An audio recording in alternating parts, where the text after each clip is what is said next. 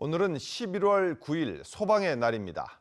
재난 현장을 누비는 업무 특성상 마음의 병, 이른바 외상 후 스트레스 장애를 호소하는 소방관들이 많지만 정작 이들에 대한 배려는 전혀 없는 실정입니다. 최원호 기자가 취재했습니다. 형체를 알아볼 수 없을 정도로 처참하게 구겨진 사고 차량에서 소방대원들이 심각한 부상을 입은 시민을 구조합니다. 시뻘건 불길이 치솟는 화재 현장에선 생명을 담보로 화마에 맞서 싸웁니다. 매일같이 위험천만한 현장을 누비면서 밤잠을 설치거나 우울증 같은 외상 후 스트레스를 호소하는 소방대원들이 상당수입니다. 아, 돌아와서 이제 생각해 보면 가끔 내 다리가 움찔움찔할 정도로 그런 생각이 잔상들이 꾸준하게 나타나는 현상들이 가끔 납니다.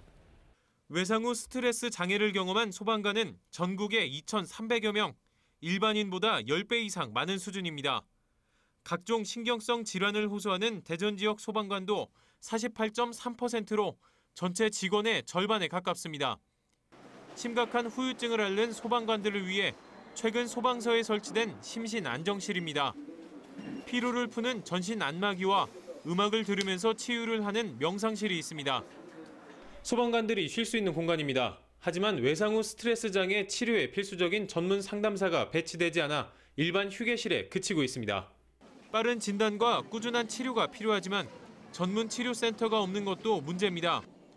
소방관들은 일반 병원에 예약한 뒤 상담을 하는 것이 전부인데 조직 내 눈치를 보느라 쉽지 않고 치료비를 자비로 부담하는 경우도 적지 않습니다.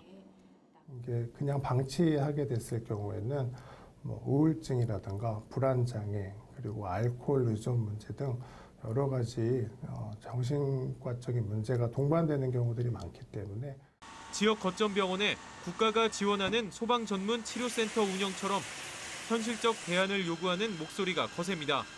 TJB 최현우입니다.